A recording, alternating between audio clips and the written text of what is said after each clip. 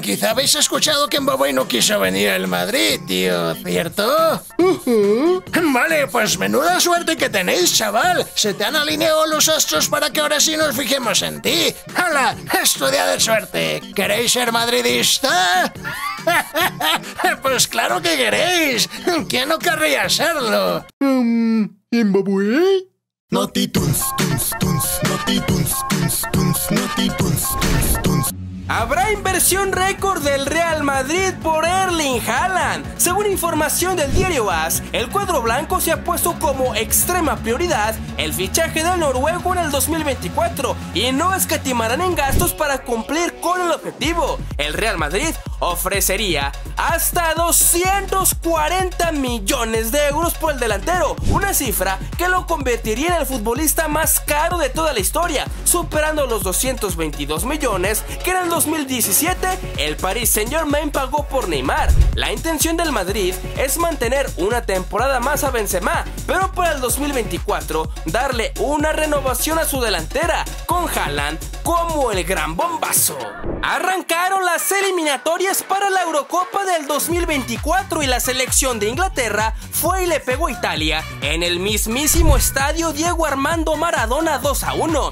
Declan Rice adelantó a los ingleses y Harry Kane puso el 2 a 0. Con este gol, el delantero del Tottenham oficialmente se ha convertido en el máximo goleador histórico de Inglaterra, llegando a 54 tantos y superando a Wayne Rooney, que se quedó en 53. Tremendo dato, tomando en cuenta que Kane solo tiene 29 años. Para Italia descontó Retegui, pero no fue suficiente y la escuadra de los Tres Leones se quedó con el triunfo.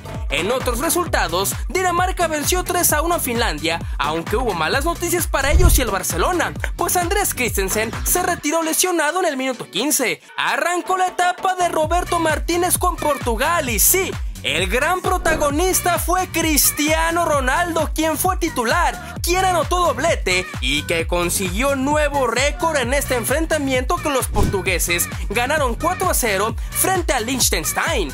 Joao Cancelo al minuto 8 y Bernardo Silva al 47 pusieron adelante los locales y a partir del minuto 51 comenzó el show del bicho. Primero anotando a través de los 11 pasos y después a los 63 con un tiro libre, donde hasta el error del arquero se vio lindo para cooperar con el gol. Noche de récords para el comandante siendo el primer elemento en llegar a 120 goles en selecciones nacionales y convirtiéndose también en el jugador con más partidos disputados con una selección con 197 apariciones. Díganle viejo, pero sigue rompiendo récord. ¡Sí! Y sin que me regalen seis penales en un mundial. ¿Cómo te quedó el ojo, pulguiento?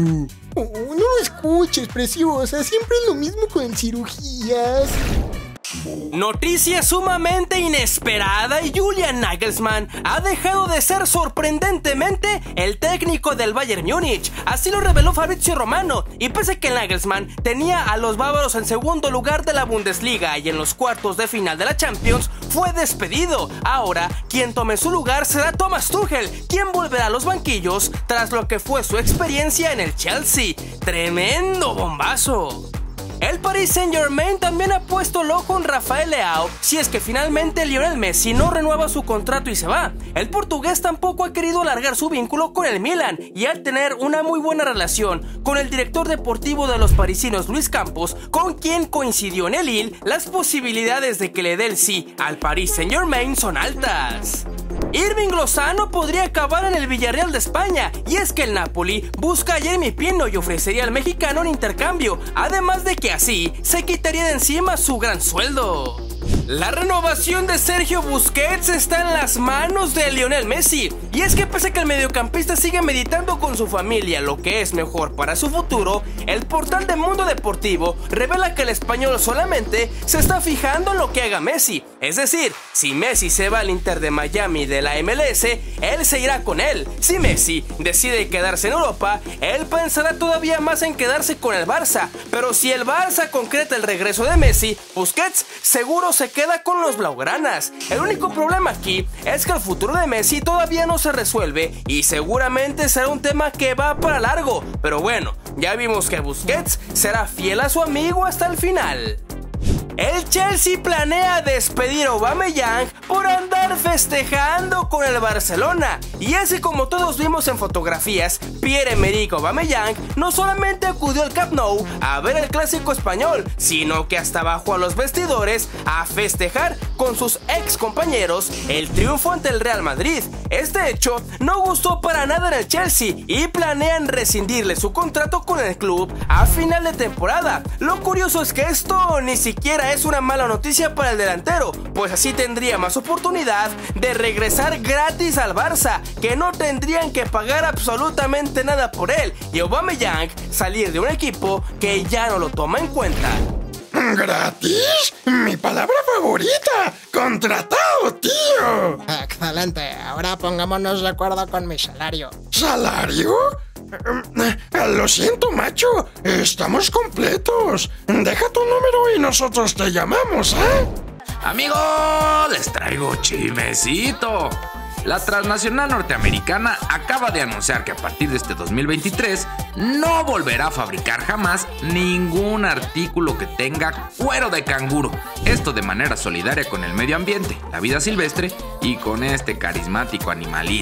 Por lo que ha cortado cualquier vínculo con sus proveedores de este material, el cual utilizaba para diverso calzado, sobre todo para los famosos Tiempo Legend.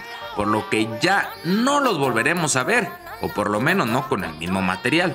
De hecho, Adidas y Puma hicieron lo mismo en los últimos años, cambiando, por ejemplo, el material y la forma de elaborar el clásico modelo de Puma King que usaba Maradona y Pelé, y en lugar del cuero de canguro, fabricaron un nuevo material sintético más resistente y flexible para reemplazar el material original. Ay, muy bien, estas noticias sí dan ganas de compartirlas, hombre.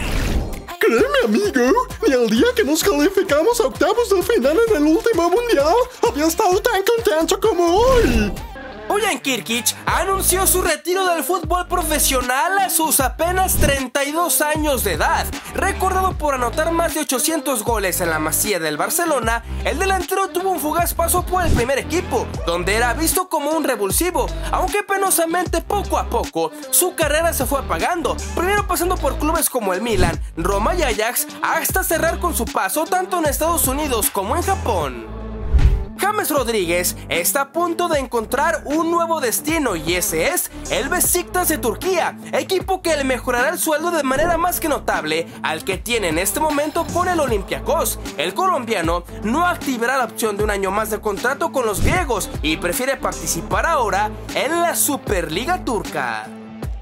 Kylian Mbappé ya habló con Antoine Griezmann acerca de su capitanía. Reporta el diario L'Equipe que Mbappé le dijo a Grisi que entendía su decepción después de que él no fue elegido el capitán, pero que aún así contaba con él para ser uno de los hombres importantes en este nuevo ciclo. El delantero del Paris Saint Germain quiere hacer entender que pese a que otros no tengan el gafete de capitán, también son líderes en la escuadra francesa, algo a lo que Griezmann por lo menos habría accedido de manera cordial y ya no amenazaría con retirarse del conjunto galo. Muy bien, Dixman. Así se hace, obedeciendo a tu nuevo capitán desde el inicio. ¿Cómo? Eh, haciendo grupo desde el inicio. Acuerda, en la selección todos somos líderes. Pero capitán, solo uno. ¡Ah! La humildad de Mawei brillando como siempre, ¿eh? Pero tú sí sé humilde y apóyanos para seguir creciendo, amigos. Si te gusta nuestro contenido, porfa, échanos la mano con un like, comentario, suscribiéndote y compartiendo los videos. No te cuesta nada, es completamente gratis. Y como lo prometido es deuda, déjenme mandarle un saludo a un par de ubinautas que nos han estado apoyando durísimo. Sergio Meléndez y Ramón Pérez. Gracias por su aguante, amigos. Nos vemos mañana con más Notitunes. Adiós. Cuenta con mi like, Ubaldo. Muy buen trabajo, mis amigos. Pero nunca se olviden de una cosa.